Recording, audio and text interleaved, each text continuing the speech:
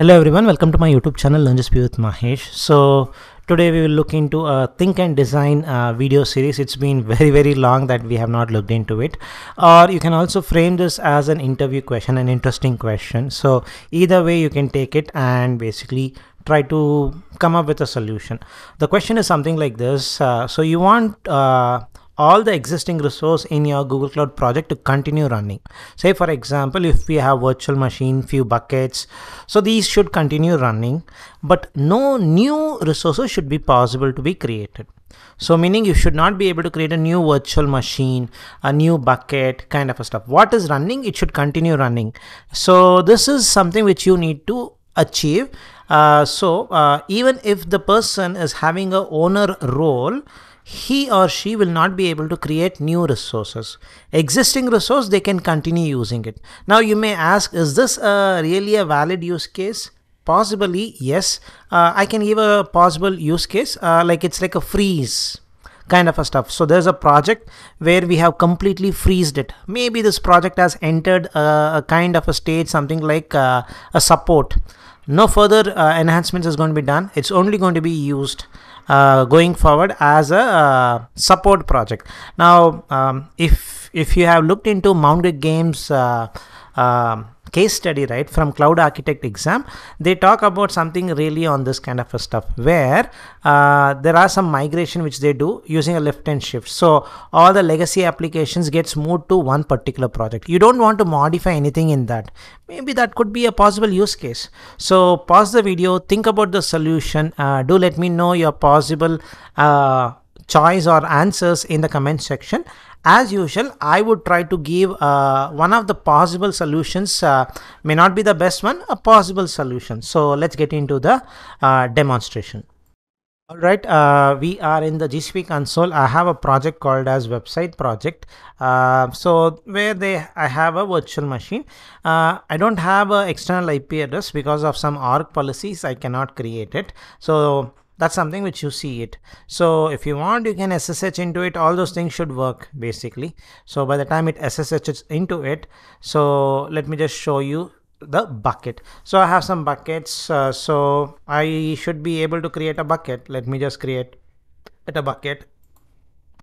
Something like uh, happy new year 2023 remember we had created this on the 1st of uh, January. So now if I try to create it maybe that bucket may not be possible because I have not deleted the bucket in that project. So I'll just mention it as GCP so now the whole thing which I wanted to show is uh, I'm able to create the bucket.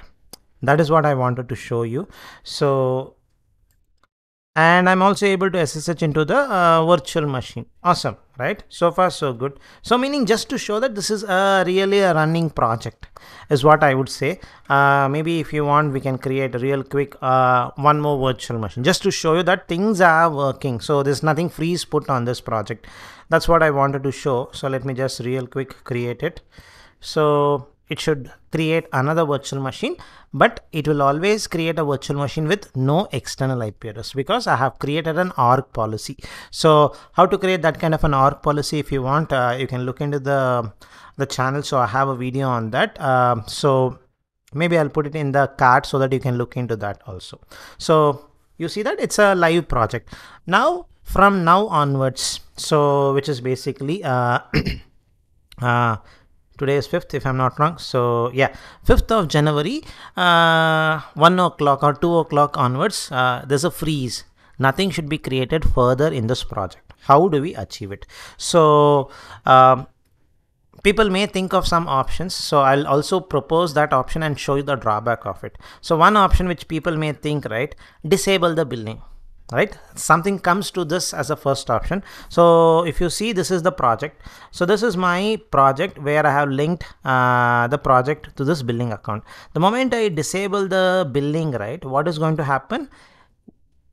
Everything is going to be disabled. So even those two virtual machines the buckets everything will not be basically uh, accessible. So let me just show you this so this is not a solution. So this will not work is what I wanted to show. So let me just disable this.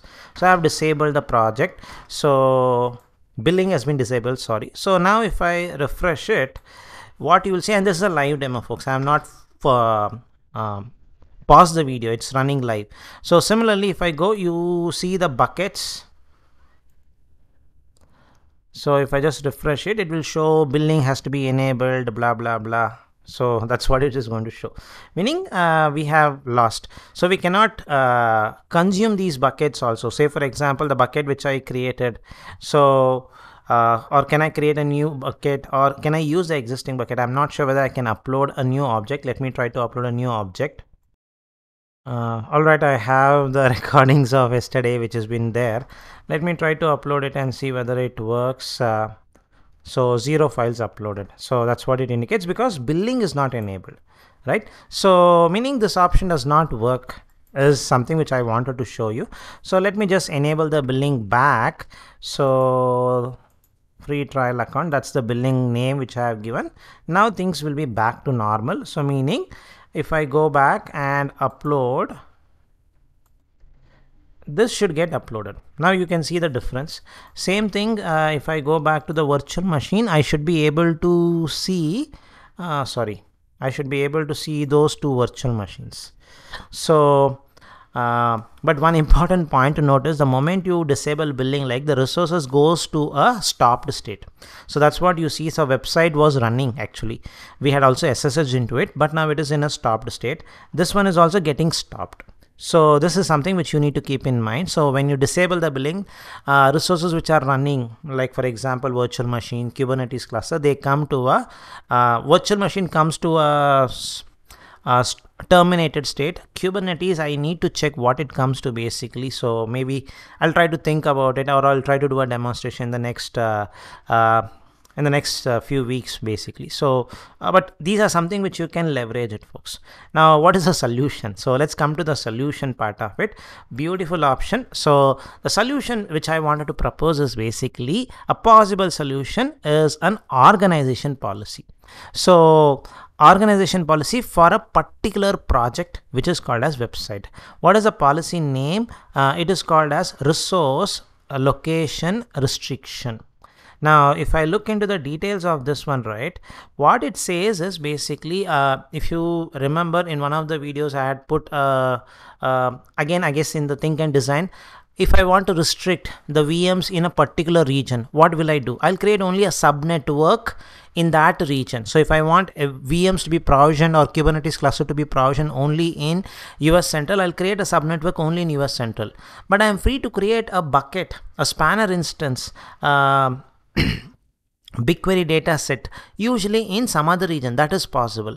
But this is a very interesting uh, org policy which restricts where you need to operate. So for example if I am a customer and I only operate in US Central no other regions so I can put a restriction that by default it is allowed everywhere. So all the regions all the current regions uh, which google has in all the 35 regions uh, you can create it. But if i enable this what i can do is uh, i can say in which region i can create it. So that's the option. So you don't want to basically inherit. So you want to do a customization where you want to replace with a rule uh, so where you can have some kind of a customization uh, allow with a specific uh, region. Uh, you can mention that I want it in only in this region uh, region. So only in that region the resource can be provisioned. Now I'm not going to do that. So what I'm going to do is basically um, I'm going to deny everything folks. Deny all under the project. So to do this I need to have a specific role let me show you what is that role. So first let me just basically uh, create this uh, role sorry org policy denied folks. So all denied. So you see there is one org policy uh, and which basically is to restrict provisioning resource in a particular region. Now we are leveraging it to our need and we have denied everything. Meaning you cannot create any resource in website project in any region so every resource is going to be a regional resource.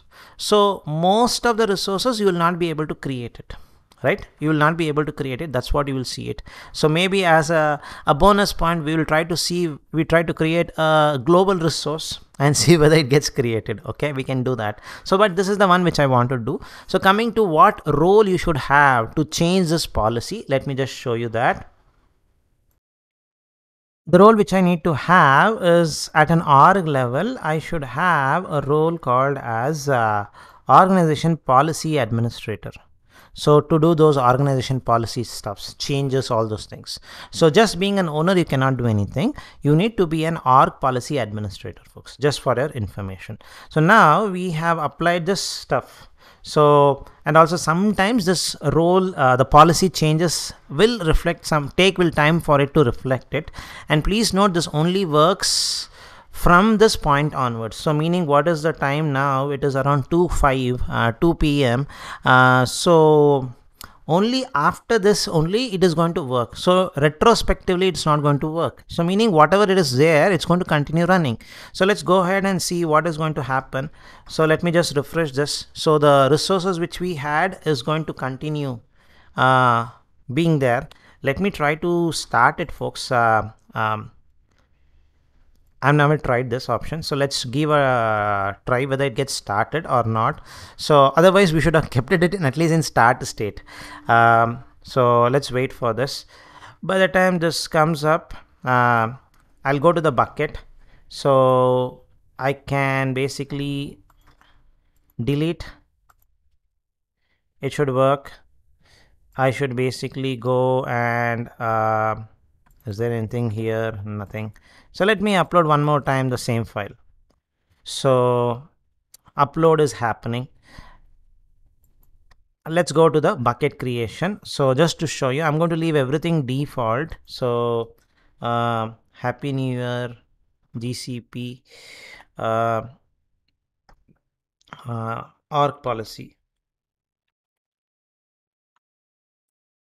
Leaving everything default it's a multi-regional one. So when I click on create let's see what is the message we are going to get. This is what you see US violates the r constraint which is the resource because we have put denied. So in no regions you can create it. So let's go to the bucket. Yeah this is sorry a virtual machine. So instance which is running it is going to continue. So but when I go and create a new instance So I'm just going to leave again everything default. So when I click on create, it will have the message which is already popping up. So US Central A is is a violate uh, it violates the constraint so that's it so we have things which is going to continue running uh, if you want to patch it restart it all those things are possible. That's what it indicates. That's beautiful. So that indicates these org policies don't work in a retrospective style. It will not work apply for any existing resource. Any new resources you cannot create it. So i showed you two resources virtual machines and uh, buckets. So if you want we can go look into bigquery uh, create a bigquery data set. It should also have the constraint as a final one i would try to show you uh, basically uh, this is the this is the project. So if i can i create a data set? Mostly no is my understanding. So let's go ahead and create it. Beautiful. It shows that right? So um, these are all multi-regional regional. We have seen a zonal resource which is virtual machine. We have seen a multi-regional resource like uh, bigquery dataset and google cloud storage bucket. None of them are possible to get created. So let's go to the vpc vpc we know it's a global uh, constraint or it's a global global construct. So let's go and try to create one more and see whether we can do anything uh, demo. So I'm going to basically leave it as automatic for a very quick one to check what happens so I guess uh, it will not sure I should have only created the uh, I should not have created a subnetwork because subnetworks are regional resources.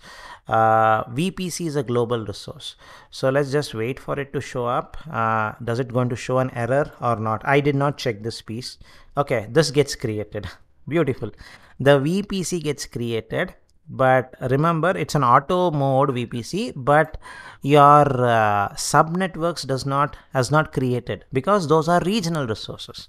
That's one thing right? So which is a good one. So that way we also get an exposure that this is global resources. So pubsub is another global resource. Uh, so let's go ahead and create pubsub. So it's a global resource hopefully it should get created is my understanding.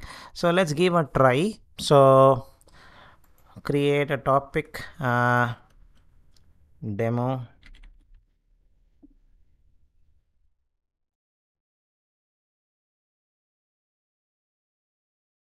Okay okay this does not get uh, policy does not allow storage of any regions where pubsub is okay so uh, not very sure. I have to look into the details of this.